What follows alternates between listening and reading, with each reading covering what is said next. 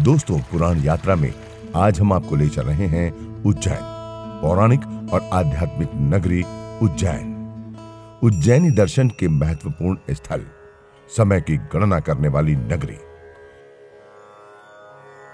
भारत के सबसे प्राचीन सात नगरों में उज्जैन का एक महत्वपूर्ण स्थान है। बारह ज्योतिर्लिंगों में कालों के महाकाल यहाँ विराजते हैं।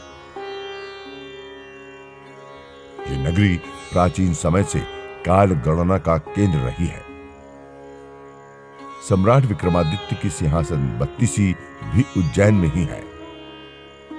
मंगल ग्रह का केंद्र बिंदु मंगलनाथ भी उज्जैन में ही विराजे हैं। ये पौराणिक और आध्यात्मिक नगरी है। महाभारत में उज्जैन का उल्लेख अवंती राज्य की राजधानी के रूप में किया गया है।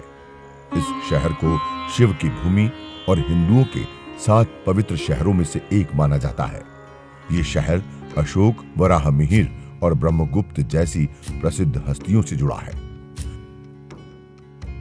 यहाँ पर शमशान, ऊषर क्षेत्र, पीठ और वन, ये पाँच विशेष संयोग एक ही स्थल पर उपलब्ध है।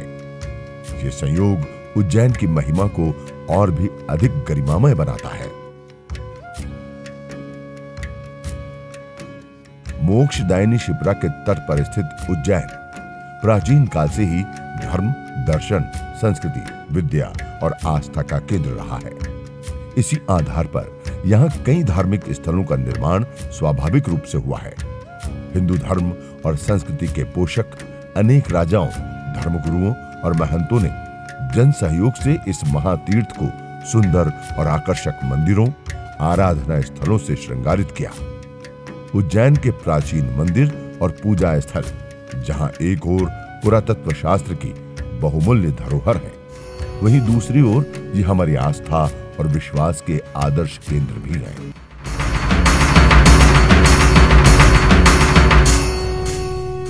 महाकालेश्वर ज्योतिर्लिंग। भारत के नाभि स्थल में कर्क रेखा पर स्थित श्री महाकाल का वर्णन रामायण, महाभारत पुराणों और संस्कृत साहित्य के अनेक काव्य ग्रंथों में प्रचुर मात्रा में मौजूद है। पूरे भारत में ये ऐसा ज्योतिर्लिंग है, जहाँ सुबह चार बजे भस्म आरती होती है।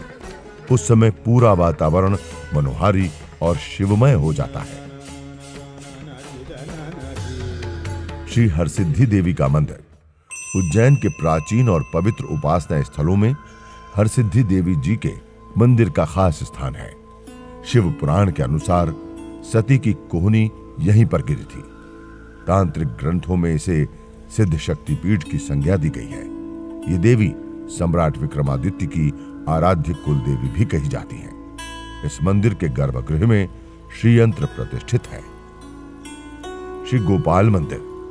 इस मंदिर का निर्माण महाराजा श्री दौलत राव जी सिंधिया की महारानी बायजाबाई द्वारा लगभग 250 वर्ष पहले कराया गया था। नगर के मध्य स्थित इस मंदिर में द्वारकाधीश की मनोहारी मूर्ति है। इस भव्य मंदिर का शिखर सफ़ेद संगमरमर से और बाकी भाग काले पत्थरों से निर्मित है। मंदिर का प्रांगण और परिक्रमा पथ भव्य है। श्री राम जनार्दन मंदिर। श्री राम जनार्दन मंदिर भी दर्शनीय और ऐतिहासिक है। इसका निर्माण राजा जयसिंह ने किया। ये मंदिर प्राचीन विष्णु सागर के तट पर स्थित है। इस मंदिर में ग्यारहवीं शताब्दी में बनी शेषशाही विष्णु की ओर दसवीं शताब्दी में निर्मित गोवर्धनधारी कृष्ण की प्रतिमाएँ भी लगी हैं। श्री चार धाम मंदिर यह आधुनिक मंदिर श्री हरसिद्धि देवी मंदिर की दक्षिण दिशा में स्थित है। प्रतिमाओं को स्वाभाविक मूल स्वरूप ही दिया गया, ताकि दर्शनार्थियों को यथार्थ दर्शन के लाभ प्राप्त हो सके। एक ही परिसर में चारों धामों के दर्शन को प्राप्त करना दुर्लभ संयोग होता है। कालिया देह महल। प्राचीन काल में कालिया देह महल, जो आज सूर्य मंदिर के नाम से जाना जाता है, भैरवगढ़ से तीन किलोमीटर की दूरी पर शिप्रा नदी के पास स्थित है। मुगल शासक मोहम्मद खिलजी ने चौदह में इस महल का निर्माण करवाया था। मांडू के सुल्तान ने यहाँ बावन कुंडों का निर्माण करवाया। श्री काल भैरव मंदिर। अष्ट भैरवों में प्रमुख श्री काल भैरव का यह मंदिर अत्यंत प्राचीन और चमत्कारिक माना जाता है। जब पुजारी द्वारा मध्य पात्र भैरव जी के मुँह से लगाया जाता है तो सबके देखते ही देखते ये पात्र खाली हो जाता है। काल भैरव के दक्षिण में गर्भेश्वर महादेव और विक्रांत भैरव के स्थान है। इस मंदिर के प्रांगण में स्थित एक संकरी और गहरी गुफा में पाताल भैरवी का मंदिर है। श्री मंगलनाथ मंदिर। श्री मंगलनाथ का मंदिर एक महत्वपूर्ण और प्राचीन मंदिर है। मत्स्य पुराण में मंगल ग्रह को भूमि पुत्र कहा गया है। इनकी पूजा और आराधना का अपना विशेष महत्व है। ज्योतिष और खगोल विज्ञान के दृष्टिकोण से यह स्थान महत्वपूर्ण है। यह मंदिर एक ऊँचे टीले पर बना हुआ है। इसके प्रांगण में पृथ्वी देवी की अत्यंत प्राचीन प्रतिमा स्थापित है। वेदशाला जंतर मंतर। ज्योतिष शास्त्र में यह स्थान खास महत्व रखता है। इस वेदशाला का निर्माण 1730 में राजा जयसिंह ने करवाया था। 1923 में महाराजा माधवराव सिंधिया ने इसका जीर्णोद्धार करवाया। सम्राट यंत्र रिंगश यंत्र, नाड़ी वलय यंत्र और भित्ति यंत्र यहाँ के प्रमुख यंत्र हैं। खगोल अध्ययन के लिए यह स्थान उपयोगी है। श्री भर्तहरि गुफा। गढ़कालिका के दक्षिण में भर्तहरि गुफा स्थित है। सम्राट विक्रमादित्य के बड़े भाई राजा भर्तहरि की साधना स्थली होने के कारण यह स्थान प्रसिद्ध है। राजपाट त्यागने के पश्चात उन्होंने नाथ पंथ की दीक्षा लेकर कई वर्षों तक यहाँ पर योग साधना की थी। शिप्रा तट पर स्थित यह गुफा बौद्ध और परमार कालीन स्थापत्य कला की संरचना है। कहते हैं कि पहले इस गुफा के अंदर से ही चारों धामों तक जाने के रास्ते थे, जो आजकल बंद है। इस गुफा की व्यवस्था नाथ पंथी साधुगण करते हैं। यहाँ से कुछ दूर पर नाथ पंथ के प्रमुख आचार्य मत्स्येंद्र नाथ जी की समाधि है। उनको पीर मछंदर नाथ भी कहते हैं। श्री सांदीपनी आश्रम, अंकपात क्षेत्र में स्थित इस आश्रम में भगवान श्री कृष्ण सुदामा और बलराम जी ने अपने गुरु श्री सांदीपनी ऋषि के सानिध्य में रहकर गुरुकुल परंपरा विद्याध्ययन कर चौदह विधाएँ और चौसठ कलाएँ सीखी थी। यहाँ पर स्थित कुंड में श्री कृष्ण ने अपने गुरुजी को स्नानार्थ गोमती नदी का जल उपलब्ध करवाया था, इसलिए ये सरोवर गोमती कुंड कहलाया। नगरकोट की रानी। नगरकोट की रानी प्राचीन उज्जैनी के दक्षिण पश्चिम कोने की सुरक्षा देवी है। यह स्थान पुरातत्व की दृष्टि से महत्वपूर्ण है। मंदिर के सामने एक कुंड है, जो परमार कालीन है। यह स्थान नगर के प्राचीन कच्चे परकोटे पर स्थित है, इसलिए इसे नगरकोट की रानी कहा जाता है। श्री गढ़कालिका देवी मंदिर। गढ़कालिका देवी को महाकवि कालिदास की आराध्य देवी माना जाता है। तांत्रिक दृष्टिकोण से ये एक सिद्ध पीठ है। त्रिपुरा महात्म्य के अनुसार देश के बारह प्रमुख शक्ति पीठों में ये छठवां स्थान इस मंदिर का ही है। गढ़ पर स्थित होने से यह ये गढ़कालिका कहलाई। श्री चिंतामण गणेश मंदिर। एक प्राचीन मंदिर है। इस परमार कालीन मंदिर का जीर्णोद्धार महारानी अहिल्याबाई ने करवाया था। यहाँ पर श्री चिंतामणि गणेश के साथ ही इच्छापूर्ण और चिंता हरण गणेश जी की प्रतिमाएँ हैं। यह मंदिर नगर से लगभग सात किलोमीटर दूरी पर स्थित है। श्री नवग्रह मंदिर, शनि मंदिर, उज्जैन शहर से लगभग छह किलोमीटर दूर इंदौर उज्जैन मार्ग पर त्रिवेणी संगम तीर्थ स्थित है। यहाँ पर नवग्रहों का अत्यंत प्राचीन मंदिर है। स्कंद पुराण में से शनिदेव के महत्वपूर्ण स्थान के रूप में मान्यता दी गई है। चौरासी महादेव मंदिर। ये पूरा अंचल शिवालयों के मामले में समृद्ध माना जाता है। इनके महात्म को पुराणों में विस्तृत रूप से समझाया गया है। उज्जैन में अलग अलग नाम से चौरासी महादेव मंदिर है।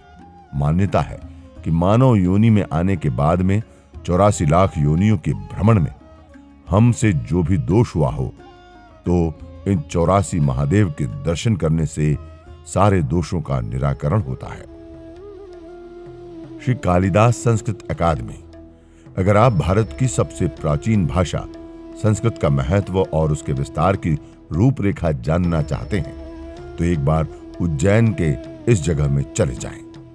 महाकवि कालिदास के नाम से बना यह संस्थान आज भी हमें भारत के गौरवशाली इतिहास की सारी कहानियाँ सुनाता है। शिप्रा घाट उज्जैन नगर में धार्मिक स्वरूप में शिप्रा नदी के घाटों का प्रमुख स्थान है। घाटों पर विभिन्न देवी देवताओं के नए पुराने मंदिर भी हैं। शिप्रा के इन घाटों का गौरव सिंहस्थ के दौरान देखते ही बनता है, जब लाखों करोड़ों श्रद्धालु यहाँ स्नान करते हैं। राम मंदिर घाट उज्जैन में हरसिद्धि मंदिर के पास शिप्रा नदी पर स्थित है, जो कुंभ मेले में शाही स्नान के लिए प्रसिद्ध है। कुंभ मेला पर्व के उपलक्ष्य में भारत के कोने कोने से लाखों भक्त, साधु संत और भविष्य वक्ता यहाँ इकट्ठे होते हैं। सिद्धवट, हिंदू तीर्थ यात्रियों के लिए उज्जैन में एक प्रसिद्ध स्थल है। धार्मिक नदी शिप्रा के सिद्धवट घाट पर अंतिम संस्कार के अनुष्ठान किए जाते हैं। स्कंद पुराण में इस स्थान का प्रेत शीला तीर्थ के नाम से उल्लेख किया गया है। कुछ क्षेत्रीय जानकारों के अनुसार यह स्थान देवी पार्वती जी का तपोस्थन भी कहा जाता है। राधा कृष्ण मदन मोहन मंदिर। श्री राधा कृष्ण मदन मोहन मंदिर, जो कि स्कॉन, अंतरराष्ट्रीय कृष्ण ध्यान केंद्र और हरे कृष्णा आंदोलन के नाम से प्रसिद्ध है। चौबीस खंबा मंदिर। चौबीस खंबा मंदिर एक भव्य स्थल है, जिसका निर्माण नवी और दसवीं शताब्दी ईस्वी में हुआ। इस मंदिर के आलिशान प्रवेश द्वार महाकाल वन की ओर खुलते हैं। रूमी के मकबरे। मौलाना रूमी के संत थे। ये स्मारक रूमी के मकबरे के नाम से प्रसिद्ध है। ये मकबरा षटकोण के आकार का है। ये स्मारक 500 से 600 वर्ष पुराना है। चमत्कारी सिंहासन। महाकालेश्वर मंदिर के पीछे स्थित विक्रम टेकरी भी ऐसी ही एक जगह है। मान्यता है कि यही वो स्थान है जहाँ राजा विक्रमादित्य का सिंहासन ज़मीन में दबा है। राजा विक्रमादित्य जिस सिंहासन पर बैठते थे, वो बहुत विशेष था। उस पर बत्तीस पुतलियाँ बनी हुई थी, इसलिए उसे सिंहासन बत्तीसी भी कहते थे। संस्कृत में लिखे गए सिंहासन द्वात्रिंशिका ग्रंथ के अनुसार इस सिंहासन पर बैठकर अनपढ़ भी विद्वान बन जाता था। उसमें अच्छे बुरे की समझ आ जाती थी। उस सिंहासन पर बैठकर साधारण व्यक्ति भी न्यायाधीश बन जाता था। उज्जैन में सिंहस्थ। इलाहाबाद, हरिद्वार, नासिक में होने वाले कुंभ मेले के समान उज्जैन में भी प्रति बारह वर्ष में सिंह राशि की बृहस्पति होने पर वैशाख मास में पूरे एक माह का सिंहस्थ मेला रहता है। स्ट्रीट फ़ूड प्रेमियों के लिए एक जगह उज्जैन में स्ट्रीट फ़ूड बहुत प्रसिद्ध है और टावर चौक नामक जगह पर पर्यटक इसका मज़ा ले सकते हैं। उज्जैन के दाल बाफले भी खासे लोकप्रिय हैं। उज्जैन गहनों, कपड़ों और बाँस के उत्पादों के लिए भी प्रसिद्ध है और यात्री अन्य स्मृति चिन्हों के साथ इन सब वस्तुओं को स्थानीय बाज़ार से खरीद सकते हैं। उज्जैन में और इसके आसपास के पर्यटन स्थल, उज्जैन पर्यटन अपने यात्रियों के लिए कुछ प्रसिद्ध आकर्षण प्रदान करता है। शहर के भीतर ऑटो, बस और तांगों की आसान उपलब्धता से उज्जैन पर्यटन यात्रा को सुखद बना देता है। अधिकतर पर्यटक शहर के भीतर साझा ऑटो रिक्शा में यात्रा करना पसंद करते हैं। कैसे पहुँचे उज्जैन? शहर के सबसे पास इंदौर हवाई अड्डा है। ये उज्जैन से केवल 55 किलोमीटर दूर है। उज्जैन का रेलवे स्टेशन भारत के प्रमुख शहरों से जुड़ा है। मुंबई, भोपाल, दिल्ली, इंदौर, अहमदाबाद, खजुराहो से यात्री उज्जैन तक पहुँच सकते हैं। इंदौर, भोपाल, कोटा और ग्वालियर से उज्जैन तक नियमित बस सेवा उपलब्ध है। उज्जैन रेलवे स्टेशन के पास यात्रियों को अनेक किफायती होटल मिल सकते हैं। उज्जैन आने का सबसे अच्छा समय अक्टूबर और मार्च के बीच का होता है। चैनल को सब्सक्राइब ज़रूर करें, बेल आइकॉन ज़रूर क्लिक करें।